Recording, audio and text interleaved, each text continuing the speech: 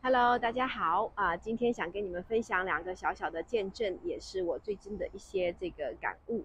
那一个见证就是有一天晚上呢，就是有一个姐妹啊，我跟我不是很熟悉的一个姐妹，然后她就来找我说，希望我给她带导，然后她说因为她的这个马上要去剖腹产，然后的话呢，她的那个孩子脐带绕颈了，然后还有是因为她的孩子也在，另外的孩子在发烧，在咳嗽生病，那么她就希望我给她带导。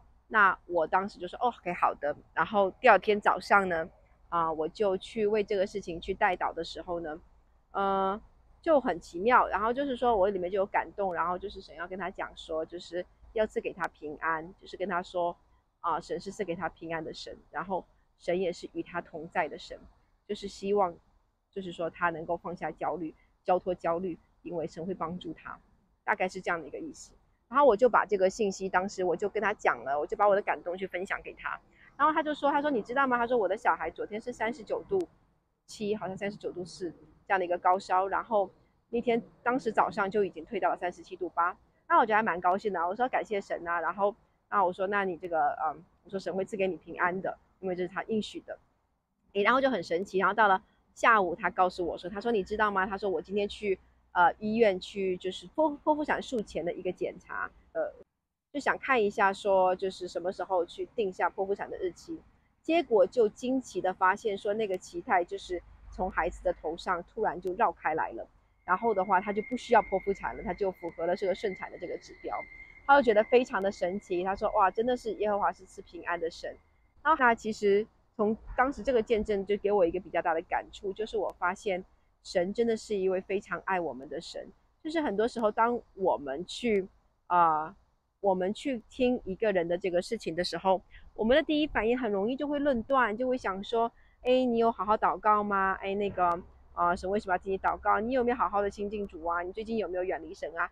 啊，对不对？我们就会有这样的一个，这时候就会有这样的这种 论断的心在里面，然后。但是的话呢，就是神完全没有说，哎，他这个姐妹祷告的多不多啊？有没有好好寻求主？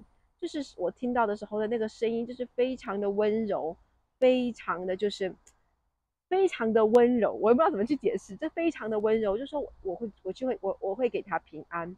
他说我会，我会那个呃，这个去帮助他的啊，这样子。所以就感觉神真的是，我越来越觉得我不明白神的爱，你知道吗？就我越来越觉得说。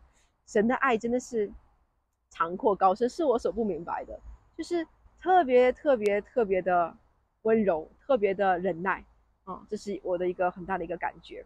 那还有一个见证，也是让我比较有感触的，就是呃，也是呃有一个姐妹嘛，然后我们教会一个姐妹，她跟我分享，她跟我讨论一个问题，就是说为什么呃苦难临到的时候还要感谢神？然后呢，我就跟她解释了很多很多为什么要凡事感谢啊，巴拉巴拉讲了一大堆。然后呢，最后呢，我就说，我说，哎呀，其实神对我们很多爱呀。我说，其实这些事情发生在啊我们身上啊，你你不能觉得说你好像感恩不出来，是因为你不明白神的爱。那我后面还加了一句，我说，哎，但是因为你你离神很遥远啊，你离神很远，所以呢，你感觉不到，你也不明白这样子啊。然后我当时说完，我也觉得没有什么。然后，然后的话呢，那天晚上，第二天早上，然后我就为这个姐妹有在祷告，我就为她祷告。他祷告的时候，我就很清楚的听到里面有个声音对我说：“这是是责备我的声音。”OK，我听到的是一个责备我的声音。他跟我说：“他说你为什么说，你为什么说我离他很遥远？”那我当时说：“嗯，以我对他的了解，他祷告的并不多。以我对他的了解，他感觉好像还没有入门的感觉，他好像都没有摸到过神的同在的感觉。所以我觉得，那他是离神很遥远啊。我说的也没错呀。” 啊！但是，然后那个声音就对我说：“他说你你不应该这样说。他说你不应该这样说。他说我其实并不离他远很远。他说其实我离他非常的近，我就在他的身旁。他说我一直在他的身旁，只是他不知道而已，只是他眼前有一个帕子，他没有看见而已。但是你怎么可以说这样呃让他灰心的话，说我离他很遥远？他说我并没有离他很遥远。”就是我，然后我当时，我当时就啊，真的是很很很受责备，然后也悔改，马上就悔改。我说我真的是真的是不明白神的啊，然后我真的是我这个嘴巴也真的是胡言乱语，不知道在说什么啊。啊，我当时就真的觉得这什么感觉呢？就感觉是我去欺负了神家的宝贝女儿，然后呢，神在那个地方非常的护犊子，然后就来责备我说：“你凭什么这样说我的女儿？你凭什么说我离我的女儿很远啊？你凭什么？你凭什么让她这个啊灰心丧气？就是这种感觉。当然，当然并不是说是呃真的这个口气了，但是就是这样的一个感觉。那我当时其实一方面的话，我会比较的感动。”就是我一方面会觉得说，哇，原来神真的是非常非常的爱我们啊，他真的是说，嗯，就是我们好像觉得会很去判断一个人，我们会从我们的一些属灵的标准去判断他，但是神不会，你就发现神真的很爱他，神很爱我们每一个人，就是神舍不得我们被别人说，或者舍不得我们被啊，就是说舍不得我们去泄气啊，让我们灰心丧气，所以。所以，当我说这个话，就是让我那个姐妹很灰心的时候啊，这神就出面来替她说话，跟我讲你不能这样说话的啊。当然后来我就也是很真诚的去跟那个姐妹去道歉，我也把神跟我讲这个话跟她讲，我说神真的好爱你哦，我说真的神好爱你，你看他护犊子护成这个样子啊。但是真的就是经过这两件事情啊，就是我真的是觉得就是。神的爱真的是长阔高深，他并不像我们人看人，啊，会有很多的标准。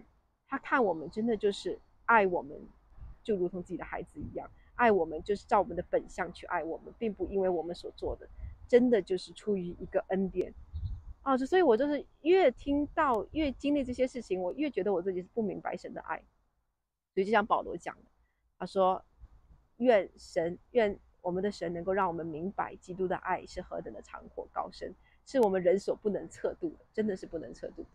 所以也是鼓励呃屏幕前的你啊，可能你觉得自己离神很遥远，可能你觉得自己亏欠了神，或者觉得自己很不配，但是我想要告诉你，真的神非常的爱你，神真的非常的爱你啊。所以回到他的面前，他一直都已经张开了怀抱，要来接纳你，要来回到你面前。当我们向他呼求的时候。